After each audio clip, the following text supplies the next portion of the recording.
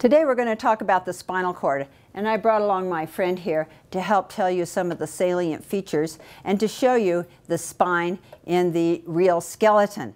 So let's turn about and have an about face and look at the spinal spinous processes along the vertebra and we're not going to go into the details about how many cervical, thoracic, lumbar and sacral uh, segments there are because you've already learned that. What I want to emphasize is the relationship between the vertebra, the vertebra and the canal where the spinal cord runs. So let's put the brain back in our model here. And this is a brain with the spinal cord still attached. And what I want you to realize, I'm going to put this in front like this, is that the spinal cord comes down and ends right about here where my thumb is, at about L1. And below that, you have these rootlets of the cauda equina that continue on down through the canal and inside the dural sac down into the sacral region. And then these roots, sensory and motor, emerge from the foramina that are along the vertebra or in the sacrum. And therefore, if you're going to remove cerebrospinal fluid, you want to do it down fairly low at about L4, L3, and uh, that region. So let's go now and look at a plastic model showing the roots. So here is a plastic model of the vertebral column with the pelvis attached.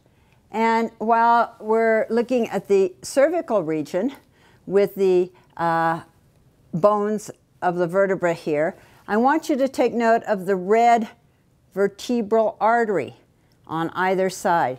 The vertebral artery comes up through the foramina in the sides here of the cervical vertebra and then enters through the foramen magnum, that's this hole right here, to form the two vertebral arteries on the medulla and then join to form the basilar artery.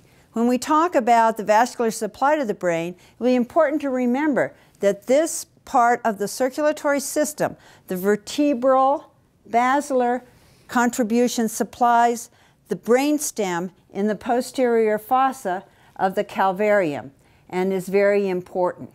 Now, to focus on the spinal cord, which is represented in green here, the cord is large in the cervical region where you have the cervical enlargement for the arms and hands, the appendages, and then it becomes a little more difficult to see as we drop down here. But as I move the cord laterally and lift it up, you can see that down in this region here, they've added the spinal nerve to each segment.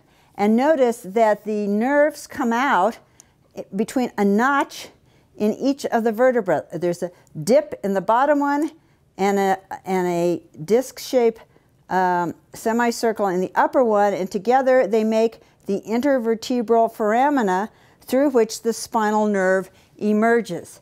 And sitting in this foramina, not demonstrated here, is the ganglion where the sensory cell bodies of the nerves carrying sensation are located.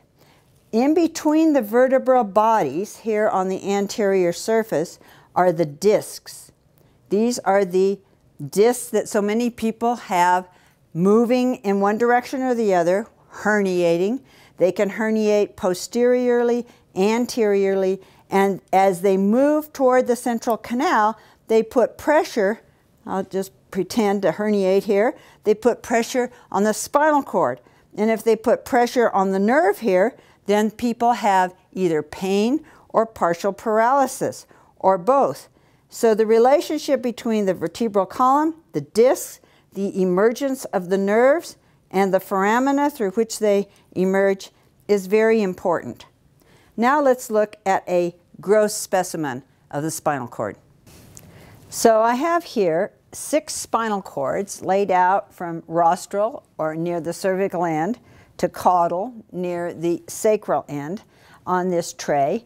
And the first thing I want to tell you is that the spinal cord does not come cut into little pieces like this. This was in the process of the pathology review of the spinal cord that the attending person cut it to look at it, to examine it for any pathology. So the spinal cord is, is not in segments, but is all connected like this. And these cut marks do not represent different spinal cord levels. They're totally arbitrary, as if you were cutting salami for dinner. Now, let's look at the outside. Remember, the dura covers the outside of the spinal cord. And here uh, on the outer surface, we see these bumps. And there's a little bit of fat with them. But these bumps, there should be a pair on the right and left sides at each level. Those are the dorsal root ganglia. These are where the spinal nerves are emerging on each side of the spinal column. So there is a pair of dorsal root ganglia. Now dorsal root ganglia, a ganglion is a collection of nerve cell bodies outside the central nervous system. These cell bodies have one process or axon that goes out to the periphery, to a sensory organ in the skin. And the axon then comes into the spinal cord to um, carry on and carry the information up the spinal cord toward, toward the brain. Or there is a cell body in the spinal cord whose axon emerges in the spinal nerve and goes out to innervate the muscle. So the dorsal root ganglion is sensory, but passing through this region here are also the motor fibers. So we want to keep in mind that each of these represents a level. Now I can't tell you exactly where, but this is approximately one segment of the spinal cord. Let's say it's thoracic, and this would be thoracic 1, thoracic 2, thoracic 3, approximately like that. This is the cervical region of a spinal cord where in the cervical region, so the, the brainstem would be in this direction. And here on the dorsal surface, you see a groove. And emerging in that groove are all these little rootlets. These are dorsal or sensory roots. You see all of these. All of these would be coming in over one spinal nerve. So on right and left sides, you have the, the filaments or the, the rootlets of the dorsal side. Now if we turn it over, so that's sensory. Dorsal is sensory. Dorsal is also called posterior, and we use those terms interchangeably. So these are dorsal roots or posterior roots. And if we turn it over, it's hard to, harder to see on this side, but most of them have been torn off in the removal of the cord. But on this side, you can see the ventral roots. These are coming out on the ventral surface and they are motor fibers going out to muscles. Unfortunately, most of them are missing.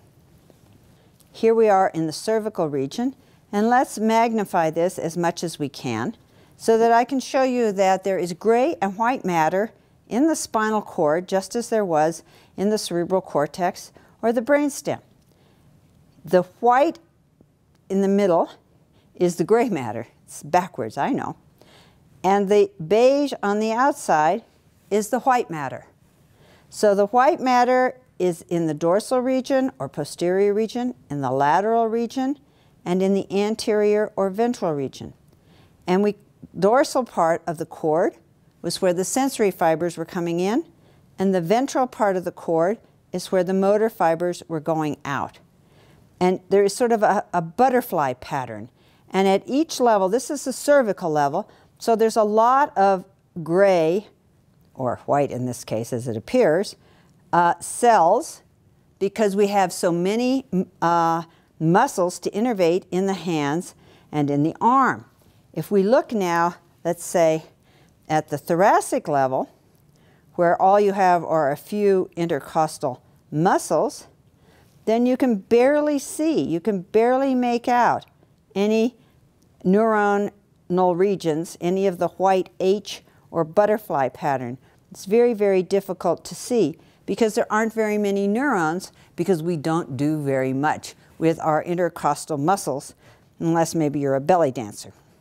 And as we move down farther, down toward the sacral region and the lumbar region, then because we have lots of muscles in our legs to be innervated, again, we have more of the white area, which is the gray or anterior horn and posterior horns, as we call them, because of the shape of this H.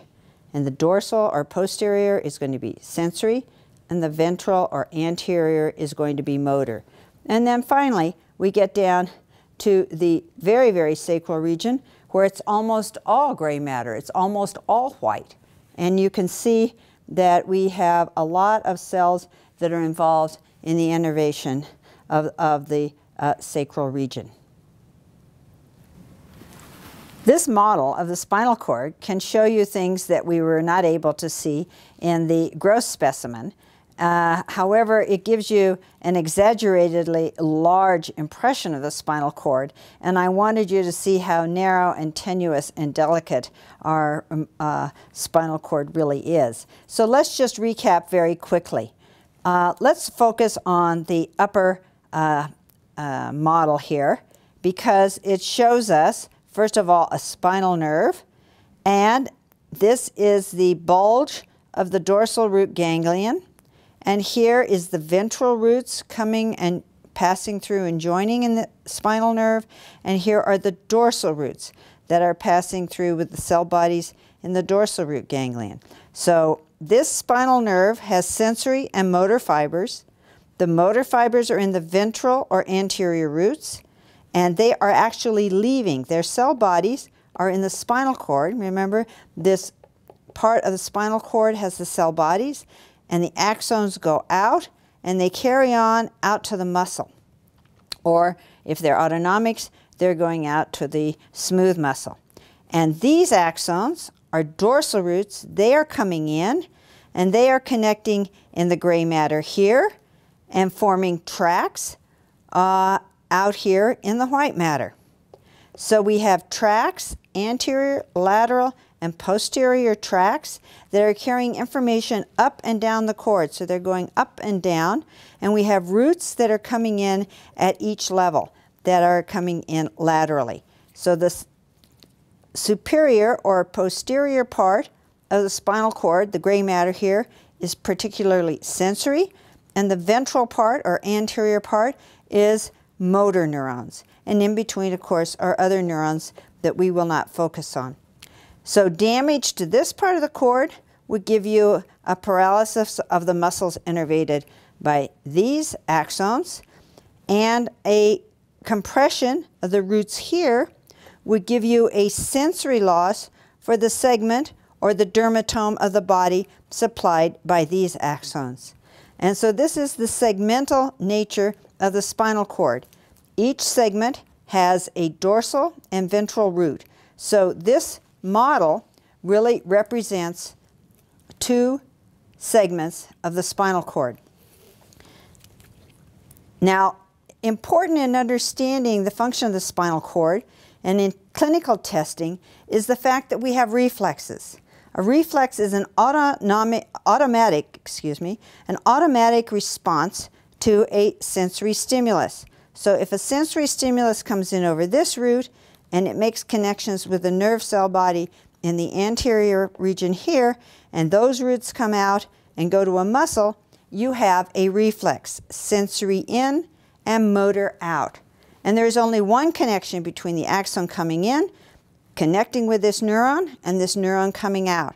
That is what we call a monosynaptic reflex. One synapse, one transmission junction, and so they're very fast, they're very automatic and they need no thinking. So if you touch or pound on with your reflex hammer, the nerve that supplies the region of the knee, or excuse me, you pound on the tendon that uh, is uh, supporting uh, the muscle, let's say at the patella, then the information comes in from the stretch of that muscle and tendon and causes a reflex jerk so that you don't overstretch your muscle and the knee jerk reflex or patellar reflex occurs. So each segment of the spinal cord has a reflex associated with it. And there are some reflexes that are more commonly tested than others. And that the uh, patellar reflex is the most classic, but they are all monosynaptic reflexes. And they provide information about the level of the spinal cord and whether it's a sensory loss or a motor loss or both. And the absence and presence of reflex are very important clinical signs, not only in the spinal cord, but also we're going to see in the brainstem. Now, to relate this model uh, to a stained cross section of the spinal cord, this happens to be cervical spinal cord, just want you to see that many times in teaching neuroanatomy, the cord has been cut and it has been stained. And we have special stains for the axonal myelin, the insulation of the axons that are carrying information over long distances. So the axons or the white matter, remember, are on the outer part of the spinal cord, and the cell bodies or the gray matter are on the inside of the spinal cord. And this is where we get this sort of classic H pattern. Some people call it, in some regions, it looks more like a butterfly. So these are the cell bodies. So when we talk about a reflex, sensory information comes in, synapses on a neuron here, that neuron sends its axon out to the muscle, and that's all there is to a simple monosynaptic reflex.